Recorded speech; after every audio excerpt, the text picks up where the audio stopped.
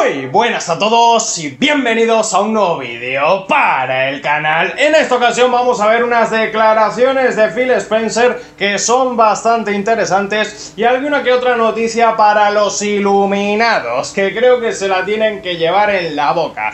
Y luego hablando de iluminados, una semana más, din din din din din din, tenemos ganador. Estaría bueno que disfrutes del juego sin ser que estás pendiente de los demás. No aportas más que mierda a la plataforma. De esta.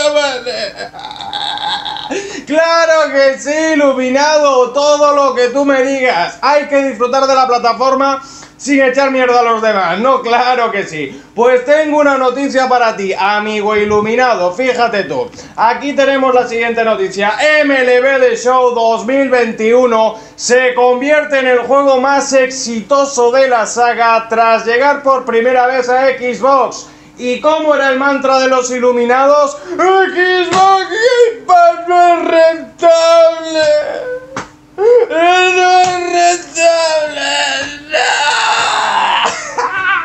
¿Pero de qué me estáis hablando, iluminados? Aquí tenéis otra prueba más. Otra prueba más del gran éxito que es el Game Pass de lo bueno que es para la industria. Aquí estamos viendo MLB The Show. Como muchos sabéis, juego que iba a ser exclusivo de PlayStation, pero que la liga oficial de béisbol obligó a que saliera también en Xbox y en el Game Pass, por supuesto. Y fijaos, se ha convertido en el videojuego más exitoso. Para que veáis la importancia que tiene el Game Pass juegos como uno de, de béisbol que normalmente pues la gente a lo mejor no lo probaría, no se atrevería ni a jugarlo, no se atrevería a comprarlo, a gastarse el dinero.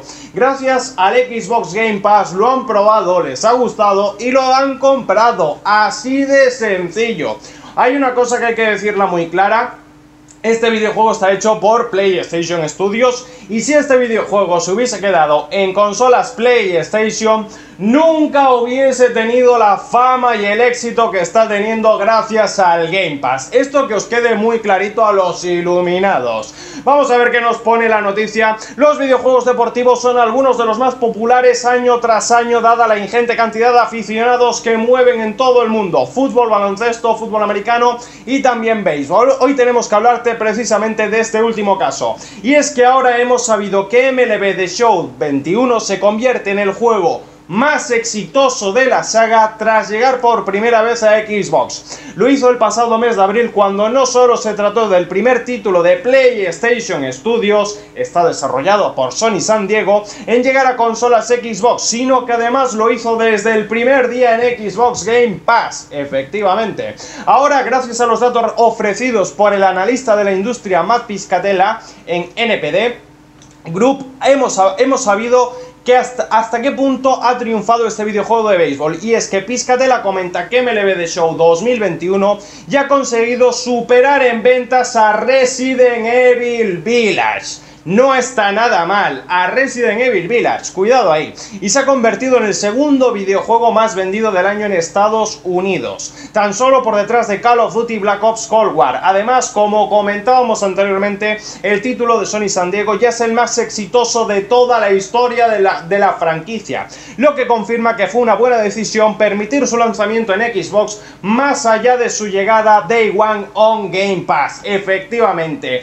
Menos mal que se les dio por ahí Menos mal que la liga de béisbol sabe de lo que está hablando, sabe de lo que está haciendo y sabe que ahora mismo meter el videojuego en el Game Pass era la mejor promoción posible. Poder llegar a todo el mundo, a todos los aficionados del béisbol, pues poder probarlo con el Game Pass. Tan sencillo como eso. Aquí tenemos esta noticia para los iluminados que dicen que el Game Pass no es rentable. Aquí lo estamos viendo. MLB de Show 21 ha superado a Resident Evil Village en ventas. No está nada mal, ¿eh? Para ser un juego de béisbol.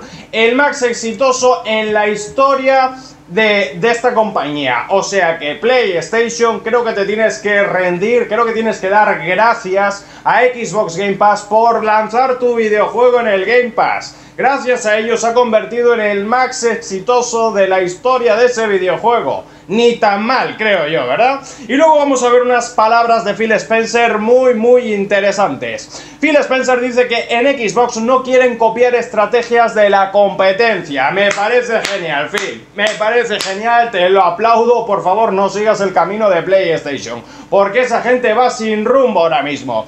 No estamos en el negocio de intentar crear una versión verde de la plataforma de color azul o rojo de otra persona. Muy bien, Phil. Muy bien, que sigan su propio camino como han estado haciendo hasta ahora, que sigan implementando sus propias tecnologías, que quieran que tengan su visión sobre los videojuegos, nos va a venir a todos genial. ¿Cuál es la visión de Xbox? Pues ya lo hemos visto varias veces con el Play Anywhere, que al, al comprar sus videojuegos de manera digital te dan la copia de PC y la copia de consola. Si esa es la visión de Xbox, ojalá que sigan así llevándolo a cabo por su línea sin seguir sin copiar y sin hacer las cosas que hace la competencia.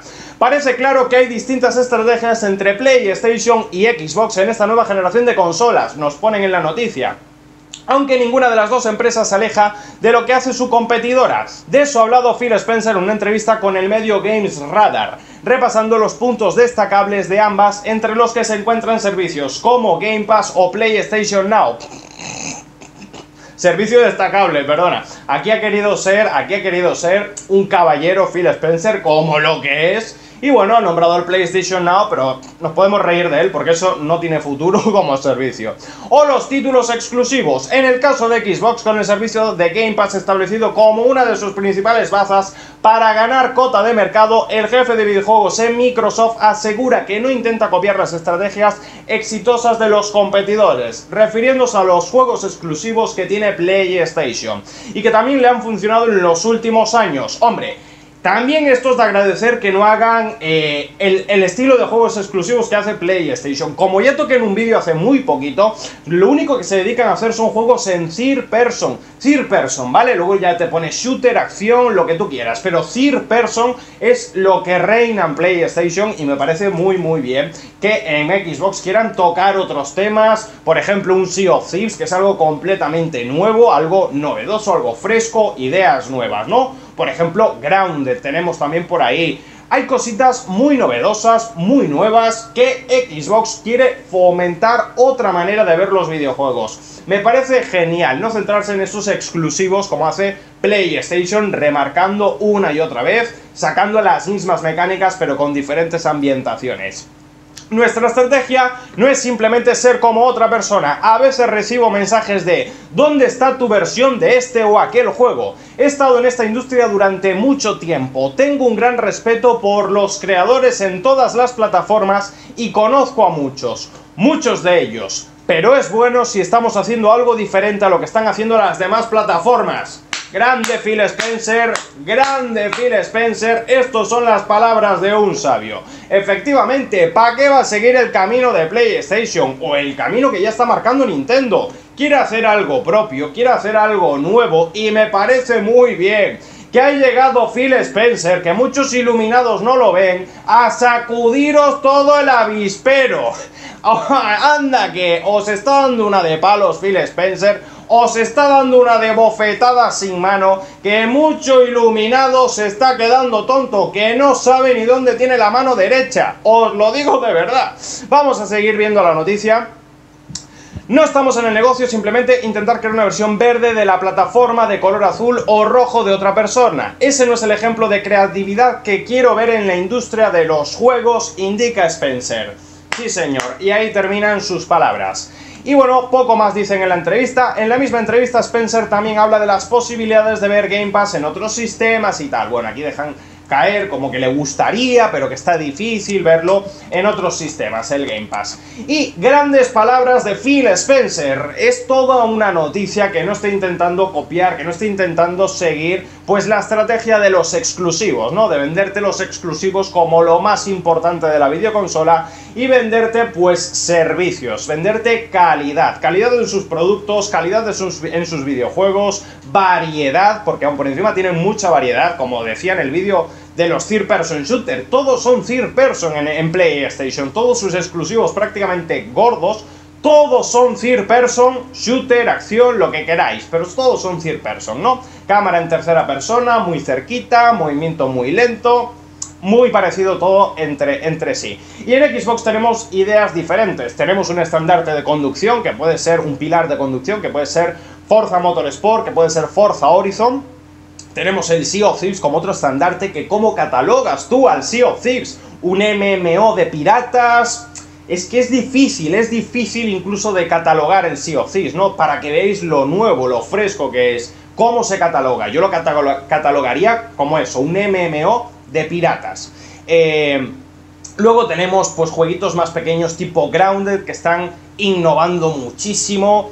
Hellblade 2 ahora que va a llegar, que las imágenes que se están viendo, eso es para despuntar a nivel técnico, para llamar la atención de manera visual. Flight Simulator, un juego en el que puedes volar alrededor del mundo. Es que hay variedad y calidad, que eso es lo importante de todo, así que me parece genial que sigan su propia estrategia ofreciendo sus propios servicios tipo Smart Delivery, tipo Play Anywhere, ese tipo de cosas nos viene bien a nosotros como usuarios, ya no hablemos del Game Pass en sí como servicio, que es buenísimo, ¿verdad?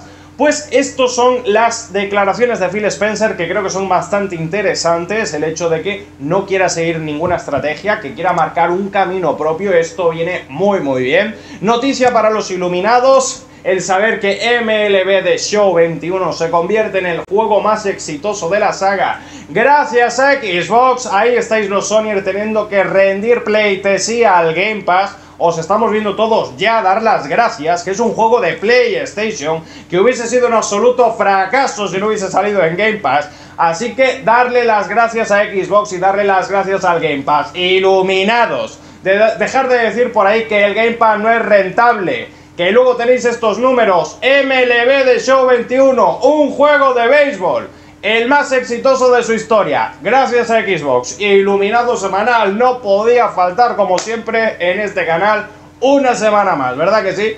Y bueno, ponedme en los comentarios qué opináis vosotros sobre el vídeo, sobre las noticias, sobre todo, ponerme vuestros comentarios, como siempre espero que os haya gustado el vídeo. Muchísimas gracias a todos y hasta la próxima.